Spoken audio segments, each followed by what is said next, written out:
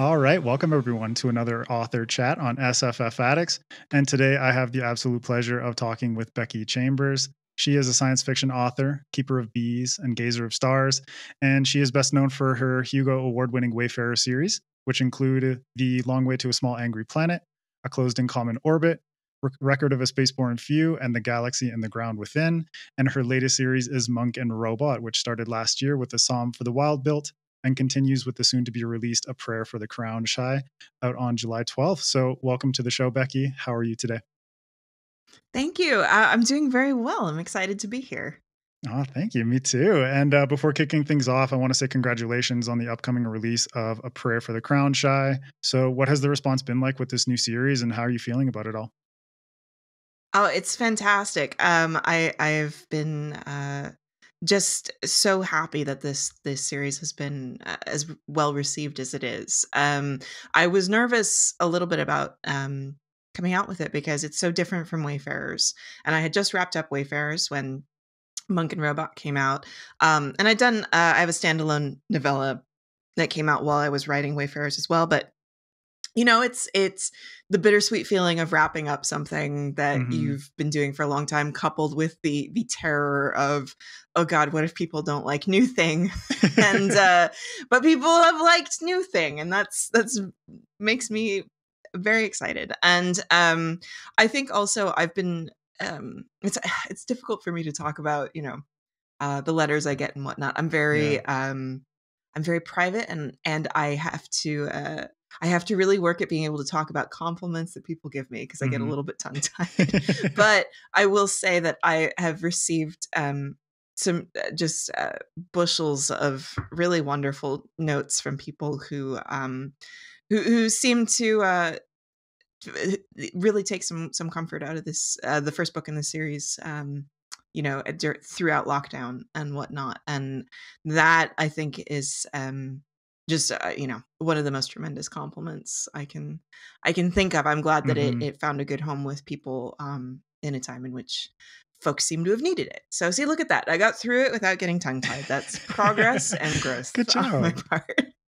And from Thank my part i can say you know just with everything that everyone around the world has experienced in the last couple of years it's like it's really nice to just have a a, a story that that i can summarize as like a warm cup of tea kind of thing, you know? And and I think that's really Yeah, I mean that was that was just beautiful. Largely the in yeah. Thank you. Um that I mean that was largely the intent when I started it, which was of course before people started getting sick. Mm-hmm. Um but you know, even at that point, you know, just with everything that was going on politically, environmentally, just everything, everyone I knew was myself included was just toast. You know, we were just tired and angry and frustrated all the time. And I noticed a lot of us doing this thing where you know we're living in this sort of golden age of just the, the, the amount of media and popular culture that there is to consume you, right. we're definitely not living in a drought right like and you, there is so much stuff out there and we would all talk about like oh yeah i really want to go you know that, that's on my list i've been meaning to check that out i've heard really good things about that series and all of us would go watch like great british bake off or cartoons or like shows we grew up with in the 90s you know like everybody yeah. was turning to comfort food and um but the thing about that is like especially especially when it comes to like kids media or media that's friendly for all ages absolutely nothing wrong with adults consuming that that's mm-hmm. great but i found that I was like, I, I want something to, that speaks to where I'm at right now, but I also want something that's comforting. And it's really hard to find that. I think that we sure. so often uh, conflate um, cynicism with sophistication. And so, you know, if you're going to watch a grown-up show, it's probably going to be kind of dark and it's going to be bittersweet. I mean, not universally, but that that is what you get a lot of yeah. the time. And I was like, what would the equivalent what you know can is there an adult a grown-up equivalent of a story i could tell in which it gives you the same sort of feeling of i'm going to sit around and watch cartoons this afternoon but it is actually for adults it is for you right now and you know like it, it has material that you can engage with and you know will give you lots to think about and um i hate using the word mature because that sounds demeaning towards the other work. But I mean, you know, it's a it's it's the sort of thing that tries to speak to you where you're at right now and um, that was that was a large part of the impetus to uh, to write these books in the first place. Oh, and it's beautiful and i mean it fits for everything that that we've we've had dumped on us in the last few years and and i think comfort food is a really good way to way to put it. Um and you know i do want to get into the series a bit more and we can dish about it all we all we want but uh, first, I like to ask uh, this at the beginning just to give uh, you know viewers, listeners a better sense of of you and your relationship with uh, science fiction and fantasy. So, for you as a kid uh, growing up, what was it like in terms of reading and SFF? Totally. Um, I I was a voracious reader as a kid. I was the kid who would go up at the to the library checkout desk with like an obnoxiously large stack of paperbacks, yeah. and then I'd be back a week later. Um, I was much more of a fantasy reader when I was young. I think oh, that oh, cool. I think that that's fairly common for for kids to fall more into fantasy at least when you're yeah. when you're younger and then in my teens as well i definitely gravitated more toward fantasy i think because as a woman at the time um, you know, coming in, you know, this would have been in the late 90s. Um, the the works that were available then, um, again, not a blanket statement, but the things that I would find on library shelves or at my school or whatnot. Um, you know, if I looked at science fiction and fantasy, the fantasy side of things felt more welcoming to me as a girl. Mm-hmm. Um, whereas the sci-fi side of things there was definitely sci-fi that I read and enjoyed, but a lot of it, you know, I'd pick up the cover and it'd be some like pulpy thing with you know a dude with a laser gun and you know some some buxom green lady Bodacious. and I'd be like that's not right I'd be like that's not it's clearly not for me yeah. um but then um I uh one of my teachers um handed me the left hand of darkness and Ooh, said I think wow. you'll really like this and Le Guin was uh, my gateway into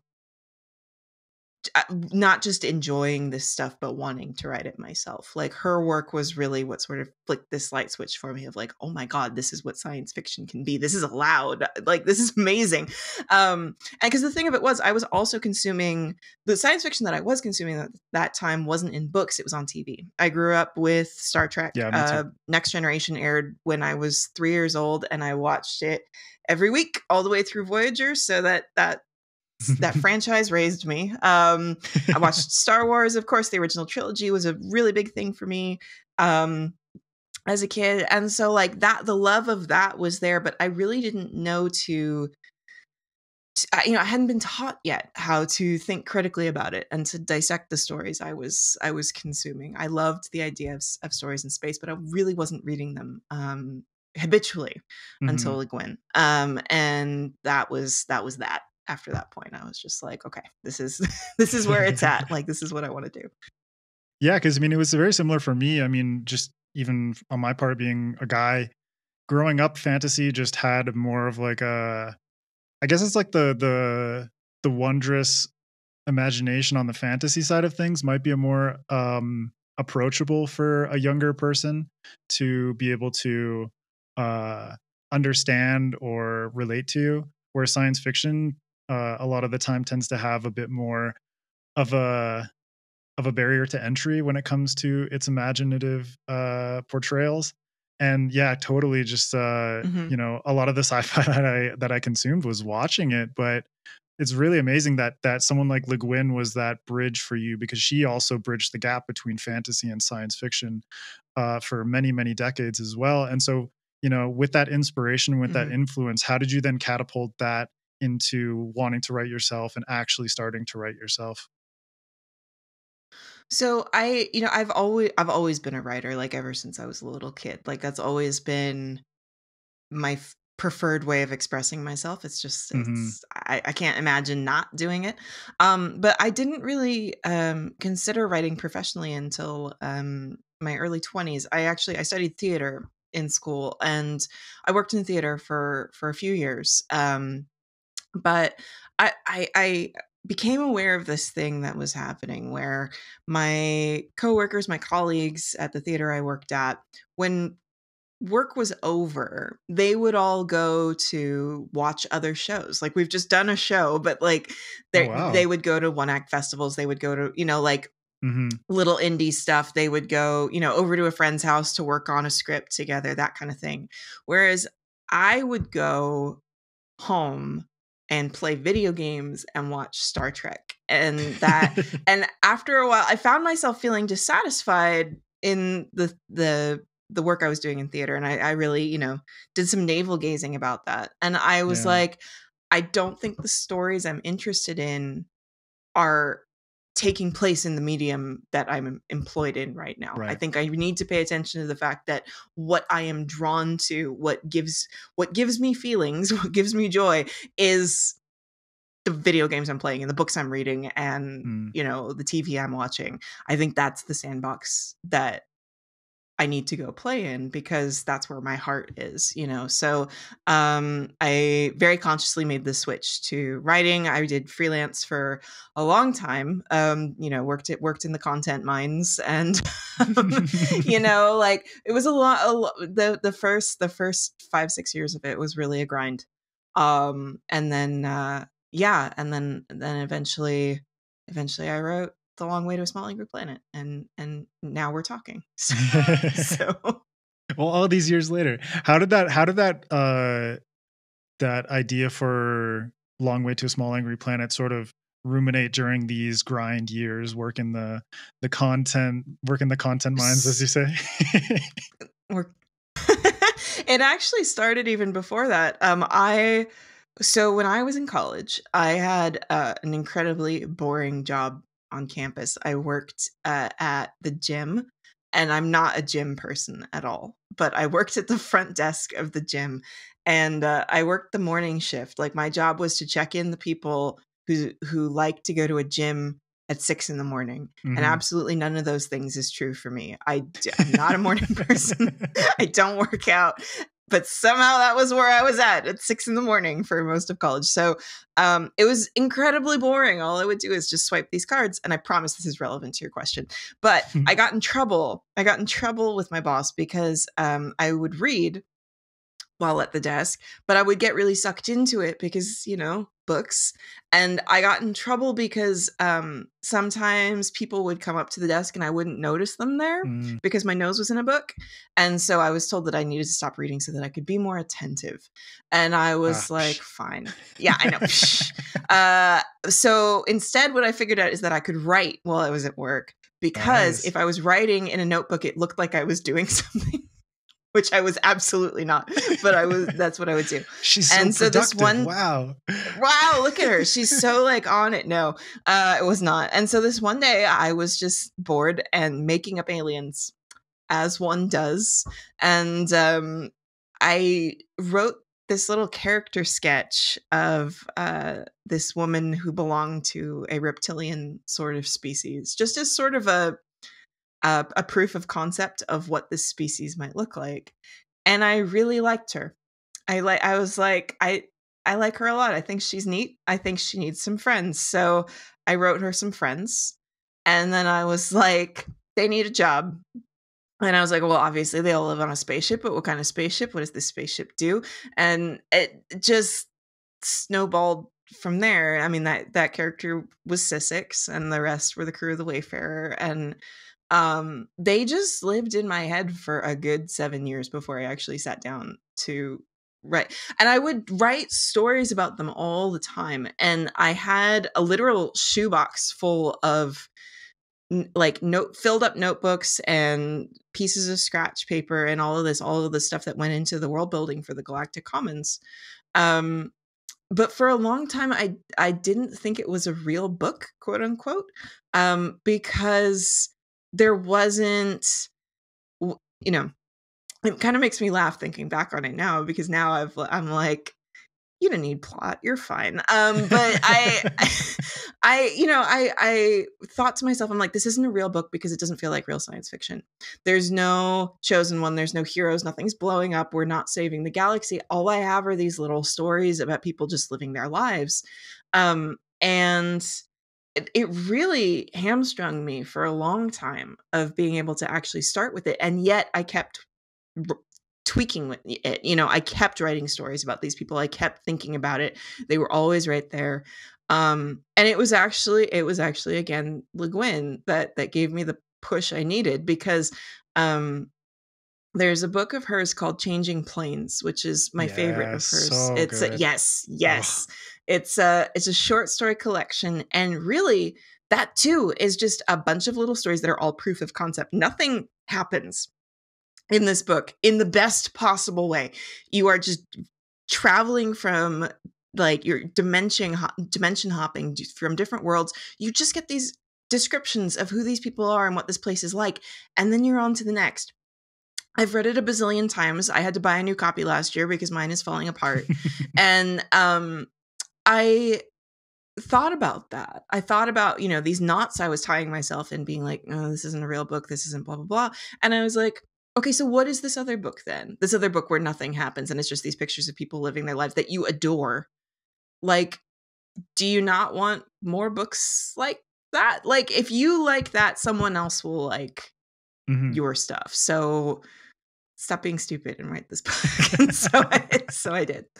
And at the same time, it's like, um, even though there's not necessarily uh, a clear overarching plot or you know tropes mm-hmm. like the hero's journey or what have you um, or even like the heroine's journey there's um there's a comfort and a structure that comes in just like plopping yourself into someone else's head and life and kind of ruminating on what they're doing and i think as a reader obviously um something that i've learned as i've as i've grown older is that my imagination plays a huge part in in in the stuff that I'm reading. And so when I have such a character driven story where there's not such a clear through line of this is the plot and blah blah blah blah blah and um you know these are the the stakes and the expectations that you can uh you know see being fulfilled by the end of this or what have you my imagination starts to fill in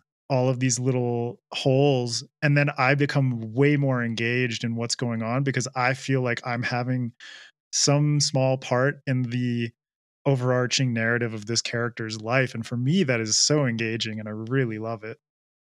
Yeah uh, no i mean i'm obviously incredibly biased here but yes i mean that so to me yeah, the slice of life is beautiful, right? Yeah, like I yeah. think um you know, there there there's so much space for stories that exist outside of the traditional three act like we're gonna build and build and build and build and then climax and denouement and then like that's that's the yeah. story and the thing is there are a lot of stories that fit that model that i love you yeah. know and like not just classics from my childhood like contemporary stuff to this day like uh, there is no wrong way to tell a story and there's nothing wrong with using a, a, template that obviously works right?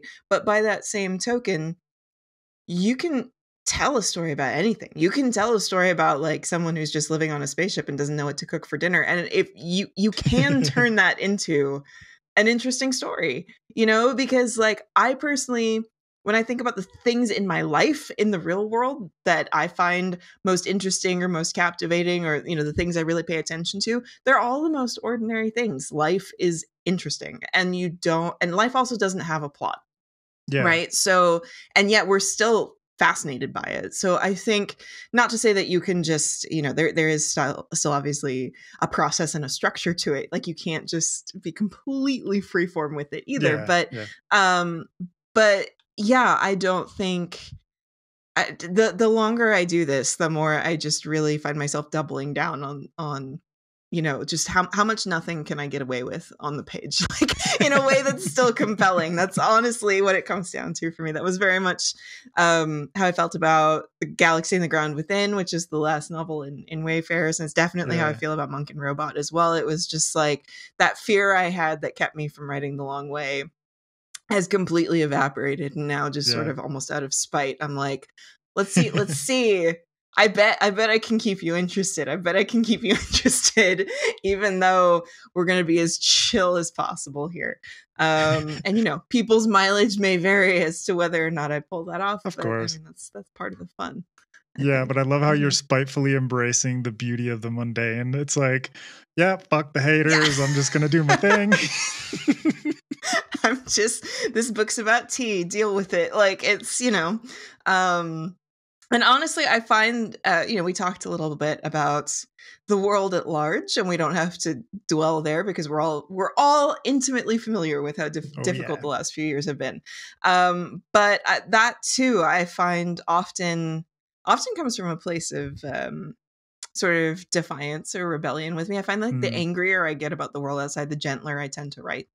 Um, like mm. it, and it really is in this sort of like you know, flipping a double bird to the world and being like, I'm sorry, I still think you're beautiful and I still think that things can be better. and I will just write something very cozy about that.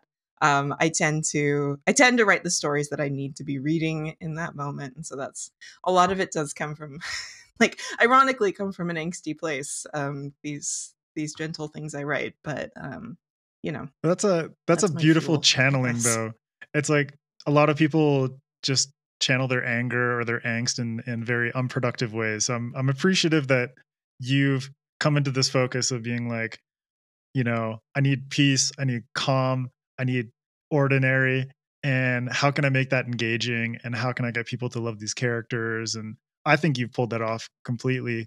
Uh, you know, and that that's the kind of stuff that it's like, oh, good. That's like we mentioned comfort food earlier. It's like that's a nice bit mm-hmm. of comfort food in between all the all the you know Stranger Things and and uh, you know just high more high octane or more stressful uh content that that mm-hmm. people are putting out there. Yeah. And I mean, here's the thing: is that yeah, I mean, the thing of that is, I love Stranger Things. I love like I love that kind of stuff too. And I think that's that's the key with it is I don't see it as a zero sum game. You know, often yeah. when people talk about um, you know, just the fact that we have this split between uh, utopian science fiction and dystopian science fiction. And it's like, we don't have to argue about which is better or which is more useful. Sometimes the thing you need to write is just pure bile. Like sometimes you just need to be angry and you just need to like lean into that and you need to be scary and gross. And that's legit. You know, you have to purge that and and work through that and that can be healing. It can mm-hmm. be every bit as healing as writing something peaceful and calm but i think you need both because yeah sometimes you just need to face your fears head on. Sometimes you need to escape. Sometimes you need a break and so I, I that's what i i try to provide with my work is that's the niche that i see as uh, you know where i fit is okay if you need to if you need to go freak out for a while like you know, there's a, there's a lot of you know, like post-apocalyptic horror that's all there for you yeah if you need to just curl up and be quiet and we talk about escapism disparagingly but it's not it's rest you mm-hmm. know and we all need to rest you need to recharge if you are going to be able to go deal with all the really scary stuff that's outside you have yeah, to take a minute 100%. and you have to breathe and heal yeah yeah no i completely agree and you know after your I'm I'm curious after your long journey of sort of internal battling of like what is uh what is this book with the long a long way to a small angry planet after that ended up getting published and you were able to get into the sequels and eventually write two three four novels in that series and i think there's a, a novella in there as well um how did that how did that feel for you to be able to expand upon that first book, build out the Wayfarers universe, and at the same time, um, what kind of ideas did it allow you to explore uh, in terms of what you were dealing with personally, or what was reflective of the world around? Yeah, I think um, you know, as as mentioned, uh, I started thinking about Wayfarers in my early twenties. I was 2021 somewhere in there.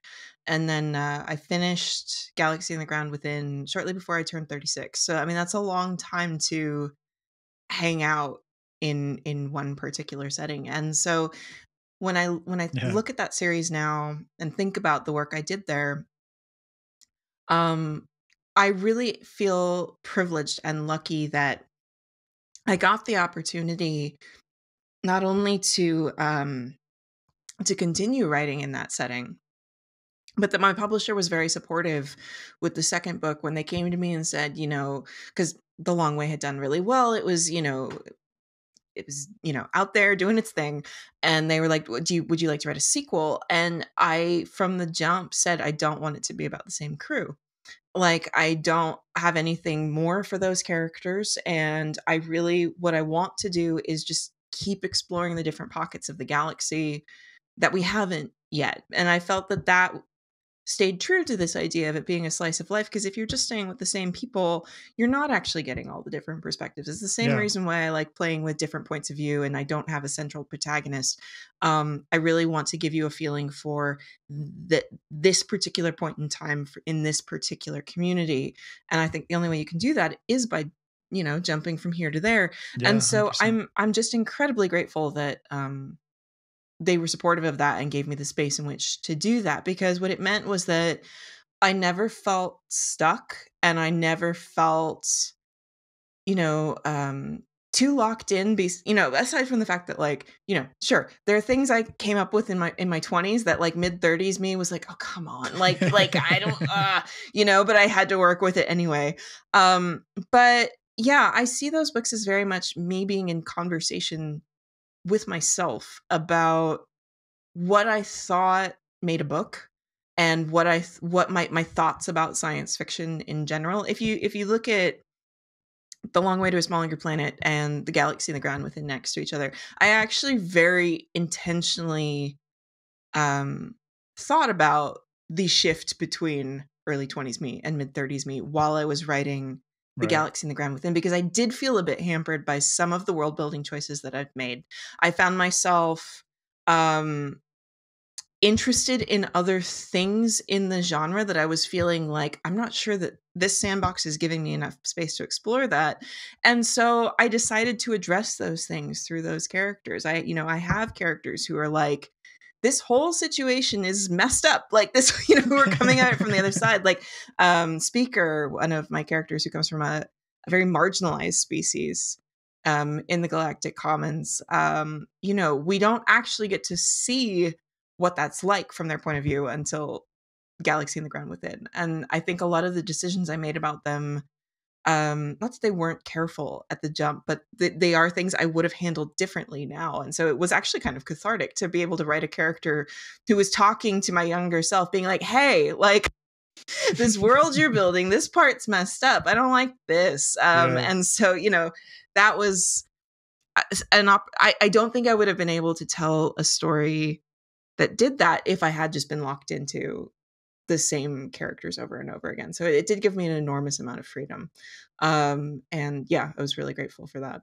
And it must have been so cathartic to to just kind of have that conversation through the act of writing with your 20s self and and like you say be like this is a little bit constrained like what the fuck are you thinking or you yeah. know you weren't thinking big enough or what have you and you know i think it's it's so fascinating that that as a reader you can kind of trace that journey but then for you you have this really uh personal um reflection on on this whole universe that you created all the books that you've written in that universe and the characters that you've uh, been able to use as like like you say sort of platforms to have the conversations that you want to have with yourself but also in in relation to your life and and and the world and all that and i think that's that's beautiful. It's uh it's just very um that that's like the the treasure of of the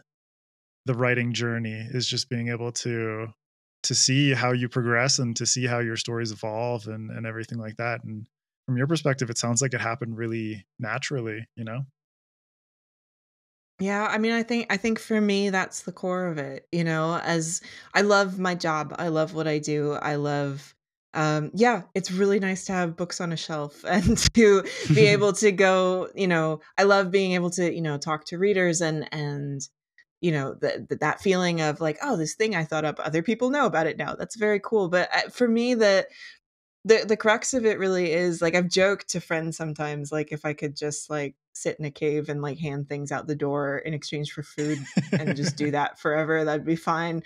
Um and that's no disrespect to any of the lovely folks I work with or have spoken to but for for me the joy really is in just constantly picking at the things that come out of my head and I never want to write the same thing twice you know, yeah. because that what's the point of that? Like with mm-hmm. every book in Wayfarers, it was always all right what's the i would always give myself some sort of a challenge you know like can you you know for for the long way it was just um can you write a book you know let's see let's see if you can write a book yeah. and closed and common orbit was um all right cool you wrote a book. Can you do a more focused book with just two characters? Like you had this big cast with nine can you do a much more focused story with just two? Uh record of a Spaceborn few was can you write a story about multiple characters that have nothing to do with each other? Um and uh closing or galaxy and the ground within was all right can you write a story can you can you write a satisfying space story that only takes place in, in, one location? Because all these other ones like hop around. What can you write a story about space that is actually not in space? It's yeah. like an extremely terrestrial story and you don't go anywhere and it's told in just this very small amount of time um, as opposed to you know years or months or what have you as it takes place in the other books. I was like no it's like it's like five days. Can you write a book that takes place in five days? Yeah. um and so that, there we go. Yeah I mean, I think it's cool that you gave yourself these uh, constraints because you know I've had conversations with friends about uh, the nature of creativity and how um, you know for me personally my background uh, you know i kind of have this like dualistic thing of like writing but then i was also an artist and a tattoo artist for many years. And so i i kind of love the freedom that comes from constraint and it's like giving yourself you know in the case of a tattoo the constraint of skin and the biology of skin and how that uh really delegates like certain things are not possible so you have to navigate that uh those waters.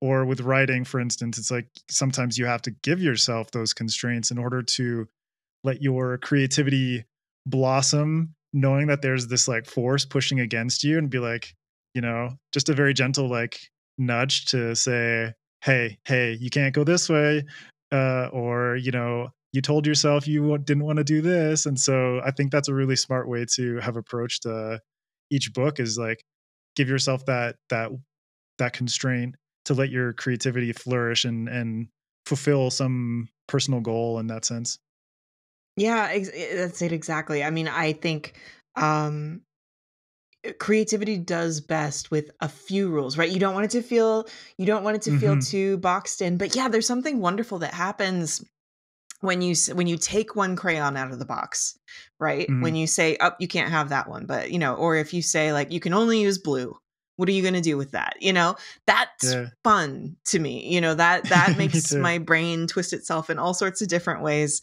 you know um because otherwise if you're if you're completely free form if you just kind of let yourself go for me personally um there's not really a challenge in that and i don't know what mm-hmm. i'm doing and i don't finish projects that way either because i get so into the weeds that i'm just like what what even is this where we've ended up but if i always have something you know some little challenge i think it is in large part with me too part of my like video game brain because yeah. you know that is also something i massively enjoy is you know being able to do like optional challenges in games and stuff where it's like can you do this map again but uh you only use you know um melee weapons instead of ranged mm-hmm. weapons yes i'd love to try that show me you know that like that kind of thing just sets me on fire so it's the it's the same thing just being able to play play little games with myself um yeah. is what keeps it interesting um and keeps me challenged but in a way that doesn't feel like a grind. Like if I give myself some kind of constraint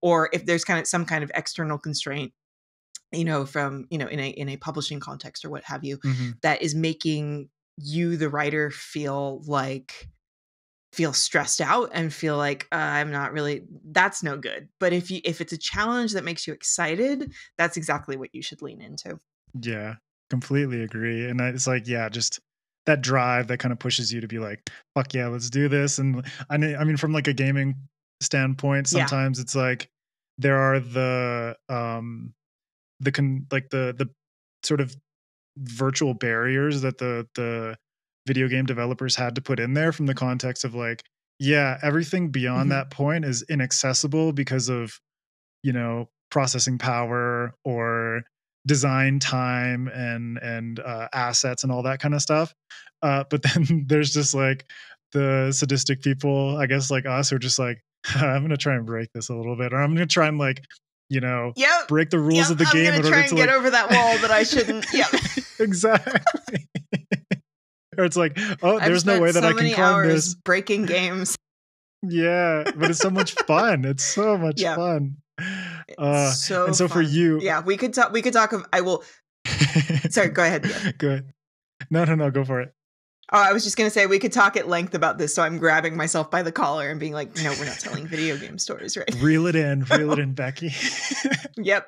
um, but you you mentioned at the beginning the the impetus for for Monk and Robot, but when you were approaching this this this new project, you know, you don't like to repeat yourself, and so you finish the Wayfarer series, and you're like, okay, I'm going to start something new. What were some of those like initial constraints or ideas that you had going into it?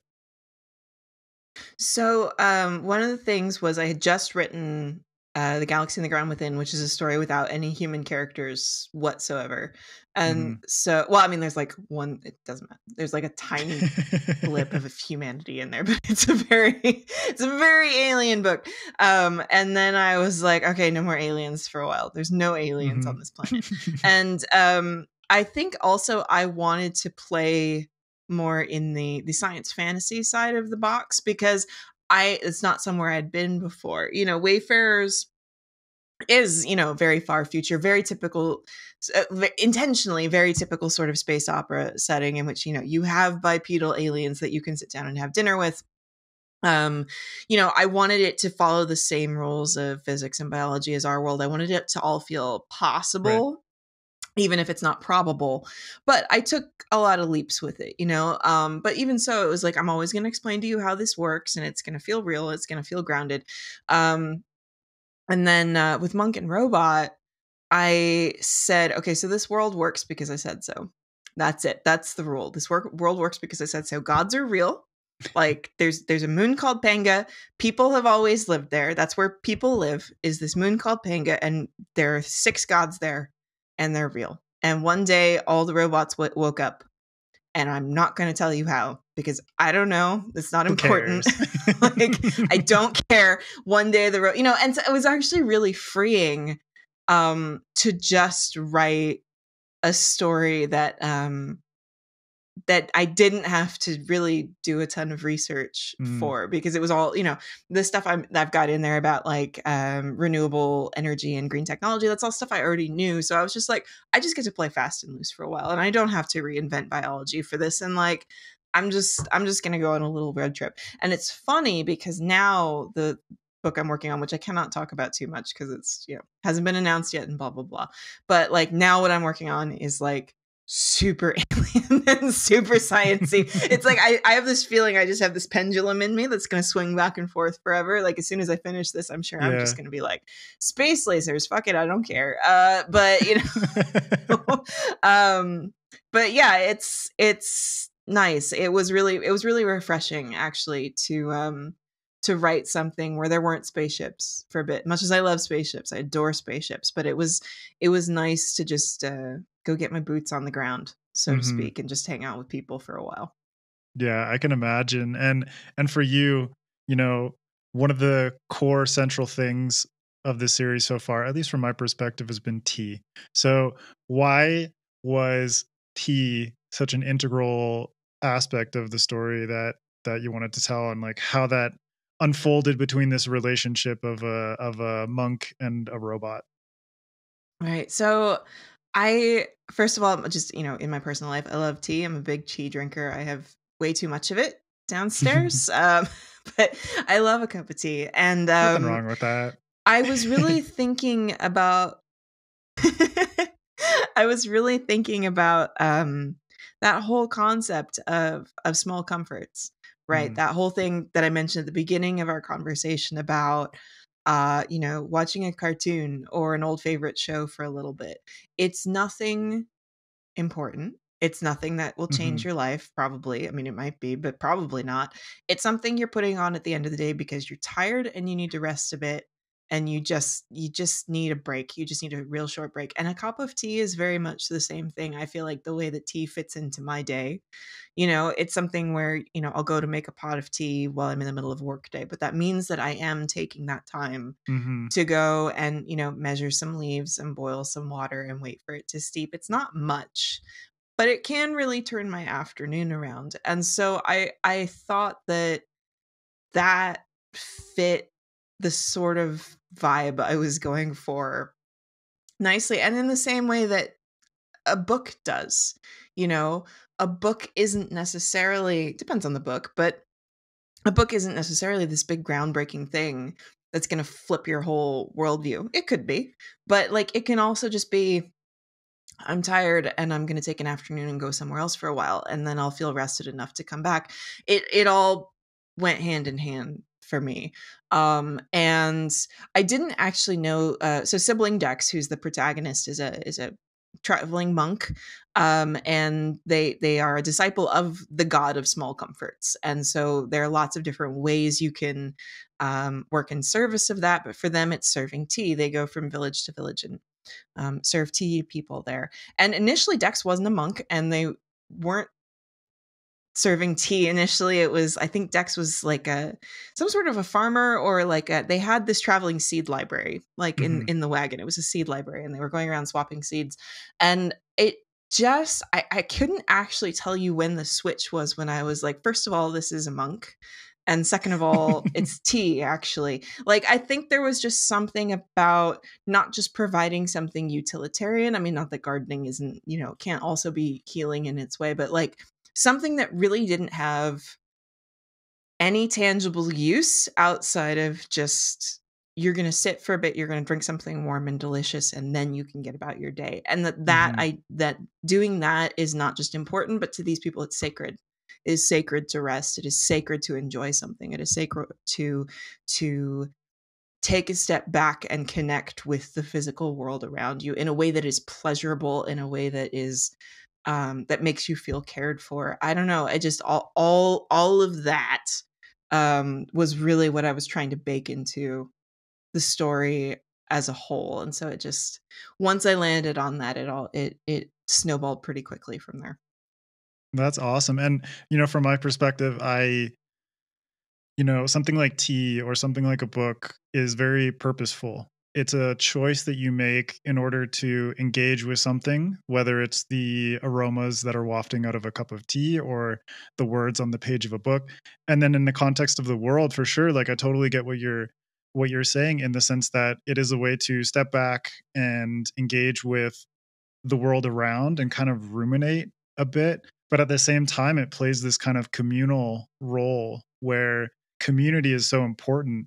And contact with other other people and conversation are very important. And i think it's this kind of perfect uh parallel between the relationship of the of dex sibling dex and the the robot that they meet and how those two are kind of having these philosophical ruminations on what it means to be human and what it means to be part of a community and to engage with one another but at the same time engage with nature and the world around. And so you know for you was it helpful to to have this um this project to creatively explore explore your you know ruminations on you know the philosophy of what it means to be human or the philosophy of nature or what it means to be a part of a community things like that Absolutely. Those were those were all all ideas I loved playing with. And mm-hmm. again, the fact that I was writing within a setting in which I didn't have to stop and figure out, okay, how do their gills work and how do you know, I could just I could just I, the thing is I love doing that work I do, but it was just so a nice to just sit and be like, they're just having a chat like by this river about death and like that's you know like um you know as we all do sometimes. Um but yeah i uh, one of the things um that i i really loved playing with is in this that that i hadn't really gotten to explore so much of my other works was i i commonly get into this fit of pique about um just polar opposites that are posed as like a, a, strict binary in all respects um but it you know the things like um nature and technology are so often depicted as opposing mm-hmm. forces right and this is very common in science fiction and also in in video games as well you know if you're dealing with a game that has yeah. like different factions i'm sure you're familiar with you know you've got like sort of the hippies over here and you've got the super tech people over here and they don't like each other um, i mean i'm playing so uh, rpgs right um, now uh, I'm playing Horizon Forbidden West, and that game is so much about like how do people take the remnants of humanity's past and the technology and re uh, reorient it into this new world framework and like completely what you said. Yeah. There's always these dichotomies and all this kind of nuance there. I, I I haven't played Forbidden West yet uh, because I don't I play on PC not on console but I loved mm-hmm. Z- Horizon Zero Dawn. I loved it. It was so much fun. Um, but yeah exactly that of these things are inherently opposed to each other. I don't believe that that's true. I believe that you know we are part of nature. Technology is just tools that we've created like all apes create tools and so it's just a matter of how we choose to use these things they are not inherently enemies you know so there was that and also this idea of you know the the the choosing to make the the robots interested in nature that they love nature that they want to be a part of nature um that too was you know these things don't have to exist in separate spheres. Um, the fact that the religion of Panga, um, Dex's religion, um, embraces both the spiritual and the scientific that these mm. things are that science is recognized as part of the spiritual as well i'm personally a secular person but it um that also has always bothered me because I have lots of friends of faith and friends who are not. And the, the, that whole thing of like, well, science and religion polar opposites. No, they're not. Exactly. They're not polar opposites at all. They can absolutely, they are just two different ways of looking at the world. And, they've been intertwined throughout all of history. Right, exactly. There's no like uh so I feel like all all of these things that I that I get um you know that I get irked about. I could sit yeah. there and be like, "No, it doesn't work like this here." Because again, because I said so. Becky's angst at work again. and um, you know, beyond beyond the work that you're doing, what do you feel? Um, because I, I I read your stuff and I feel uh, you know, obviously there's there's like the philosophical aspects of it, the ways that you can kind of self-reflect on on you as a as a reader and a human being and a part of a community and a part of a world and that kind of stuff but at the same time it's very hopeful. I feel like there's a surge recently in more optimistic uh, science fiction and fantasy and for you how does it you know how does it feel personally to be sort of part of that space and to be pushing the um pushing the creative boundaries of uh what hopeful and positive science fiction and fantasy can be uh, it's exhilarating, honestly. It's it's um just such a such a treat all the time every day um i you know when i wrote the long way that was that was actually a big part of it was i wanted it to feel like a hopeful work i wanted it to feel like a future you could look forward to. At the time when I was working on that, and, and this is still true, but like Grimdark was very much in vogue when I first oh, started yeah. Working on on Wayfarers. And I was tired of being afraid of the future. I and I think that was I, I saw these, you know, these parallel fears, right? Like that like all the futures we were engaging with were just really dirty and gritty and uncomfortable and scary, but also, you know, we were, you know, scared about climate change as mm-hmm. we still are. And, you know, just all these big existential threats that were looming. And it just felt like we didn't have anything to look forward to. You know, there was nothing we could work toward. And, like, how are you supposed to continue struggling through difficult times, through strenuous times, when you don't think that there's a light at the, you know, at the end of the horizon? Like, what, how are you supposed to? you know motivate yourself to to find the strength to continue on if you don't think there is a better world that's possible i might not see it but somebody else might see it and i'm going to keep working in pursuit of that um, that was a feeling that very much drove the long way and wayfarers um, it's definitely something uh, that fueled me through monk and robot um, it, it, I just feel very similar to, to what I said about, you know, sometimes you just got, got to write an angry story and sometimes you're going to write mm-hmm. something cozy. I also feel, yeah, sometimes you, just need to write something scary. Sometimes you just, you know, cautionary tales are important. They yeah. are important. They're vital and they're healthy. But we also need to think about okay but what what's the alternative mm-hmm. then what's the alternative to well life just sucks and you know everything's going to be bad forever um what you have to have something to point your compass toward because the alternative is just nihilism mm-hmm. and that mm-hmm. doesn't mean paint everything with rose colored glasses you know in my work i don't always you know tell you the story of and everything was okay. Sometimes it was you know like bad things happen to my characters scary things happen to my characters but i always take this time to show you what happened after that the world goes on that people healed or are healing um that something very unjust might have happened but like we're going to figure out to how to make sure that that doesn't happen next time you know i i i try to depict a forward motion always while still being honest about the fact that yes life is hard and life is painful and life is often unfair. But um that doesn't mean we should throw in the towel. It means that actually the most important thing the most vital thing we can do is to continue to hope even if it's bleak and even if we're wrong maybe even especially if we're wrong. You know i would i would much rather go down swinging than um you know just give up yeah, I mean, for me personally, I'm on the same page.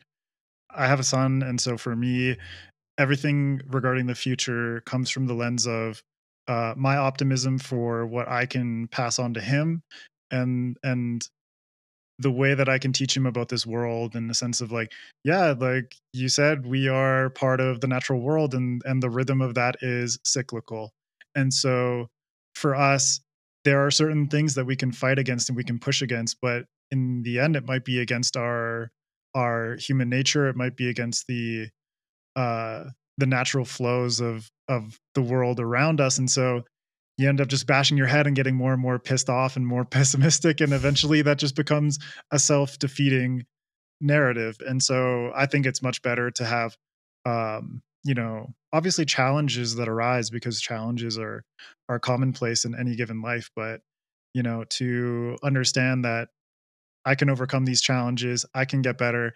And sometimes you just need to chill the fuck out and make a cup of tea and think about what's going on in your life and think about the best way to navigate that and and be able to apply your personal talents or at least your uh, positivity to the community around you, the people around you, your family, your friends, whatever, and that kind of thing has like a uh, an upward trickle effect, I think, as opposed to pessimism, yeah. which has a downward trickle effect.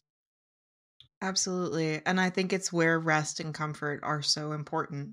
You know, we talk about them as if they're luxuries and they're not. They're absolutely vital because the truth of the matter is, it's always going to be a struggle. There will never be a day where the good guys win and the bad guys lose, like whoever that even is, because that definition changes all the time. We will always be fighting and we will always have to work and we will always experience grief.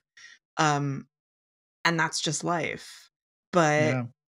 that makes it all the more important to stop and look at the beauty around you and to take a nap and let somebody make you a cup of tea and like read a book obviously again biased in that regard but do whatever play a video game you know like go for a walk like these things we we look at as these you know little fluffy things in our day no that is what gets you through the fight you have to stop you have to rest you have to take some time to engage in some with something that fills you up and makes you feel warm inside or else you're not going to be able to keep going because it isn't going to stop.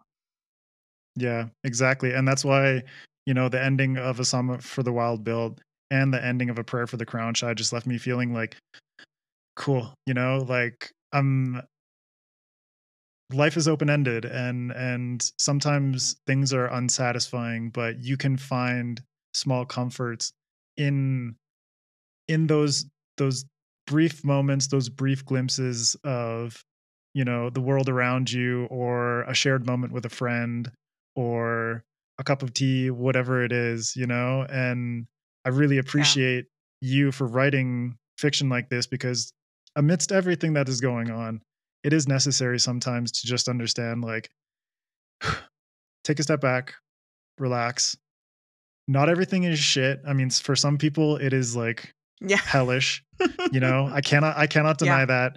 Uh but embrace what you have and fight towards something better but but appreciate the small moments that like you said get you through the mire the muck whatever whatever is pushing against your your uh uh your will to to push forward and and just uh live a life that is satisfying or you know at least positive yeah mm.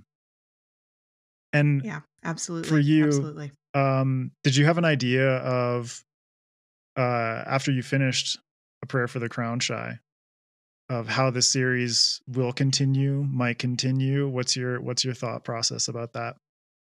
For right now, I've I for right now I'm leaving it where it's at. Um, not to close the door on it forever, but like I'm as mentioned, I'm mm-hmm. re- working on something else right now, and I I felt like Dex and Mosscap I was like, I'm ready to let you just sit for a while. You two can sit and just keep talking.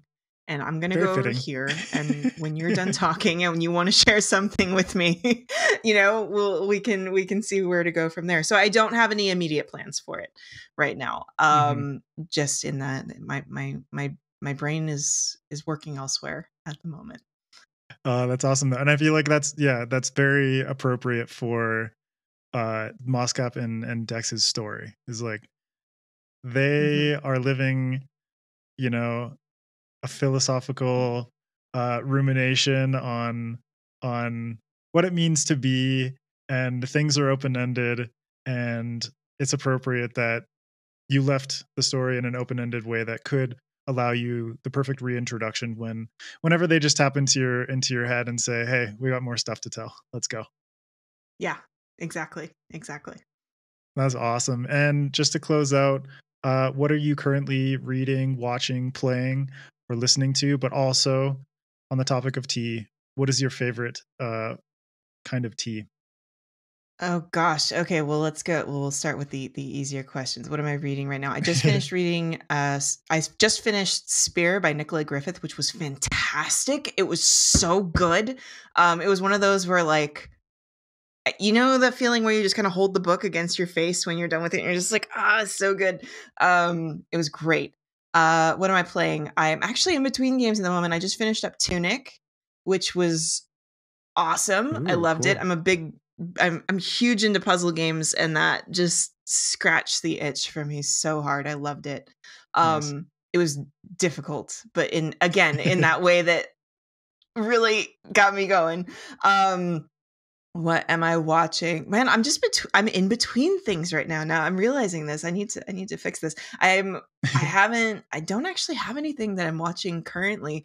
Uh my wife and i were both huge star trek fans and we've been meaning to start strange new worlds and that's next on the docket. But um i have a new tv that i haven't hooked up yet because i've been reading a book which i don't think is It's not a, problem. No, no. so but that's that's next on the list for me. Listening to, uh, I'm a big Florence and the Machine fan, and nice. Dance Fever just came out a few weeks ago, and I've been, I, I mean, it was a few weeks ago, but it doesn't mean I've stopped listening to it. It's really good. Yeah. Um, so what is my favorite tea? This is an impossible question because uh, it depends so much on my mood and the time of day. I feel I feel very strongly that there are certain teas yeah. that you should only have like right before bed and other things. So it really depends. I would say my the my biggest go-to is peppermint as just sort of a general like any time of day like i buy a huge bag i buy it in like giant bags um nice. and uh so you know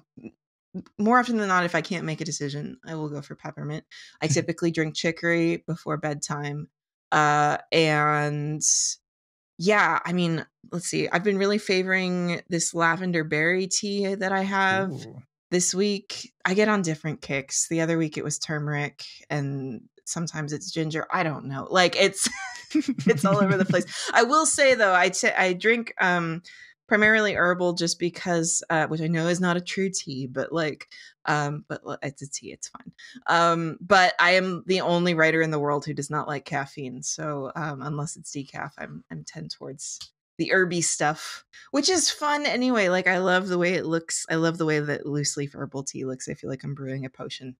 Um, so yes, that's my terrible answer to what's my favorite tea because I don't have one. They're all good. It's like the most difficult question of this entire interview. but I'm on the same page it was. as you. This I was love the hardest tea. thing. I'm so glad you saved it for last, or else that's all I would have been doing was sitting here going, God, how do I explain the Oh, shit, nuances so of many my tea collection? but my wife my wife recently bought this uh it's lavender chamomile and it's just such it's like Ooh, a dr- it's like a dreamy bedtime concoction it's beautiful but that sounds so good. I actually I have a brand new tea downstairs that I'm going to try after this. It's just straight up rose petals, which sounds insane to me. I've never tried this, but I really wanted something that felt like getting punched in the face by a bouquet. So I'm I'm going to see um how that works out for me. Well that's a perfect note to end on a punch in the face with a bouquet. Um, becky really appreciate you taking the time to chat with me today and hanging out and i recommend everyone go pick up uh, a prayer for the crown shy uh, when that hits stores. Uh, obviously it's available on amazon and everything but please support your brick and mortars if you can. And yeah uh, thank you so much. If you could please let uh, people know where they can find you on social media and keep up with your work Absolutely. It's very easy. I'm not on social media, but you can find me on my website, otherscribbles.com. I have a very occasional newsletter that goes out letting you know about events and launches and all that sort of stuff. Uh, but otherwise, I'm an internet hermit. So it's it, that's the Probably one stop shop where you can find me. awesome cool well becky thank you so much i really uh, had a good time chatting with you Likewise, this was a real pleasure.